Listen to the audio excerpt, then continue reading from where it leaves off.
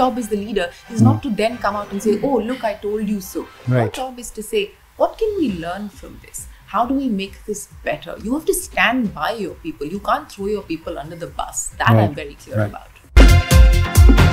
I, I don't really have a long list of things that I like to do or not. I mean, I'm focused on uh, uh, food is my number one passion in life. So that is that is where I spend my time and my money.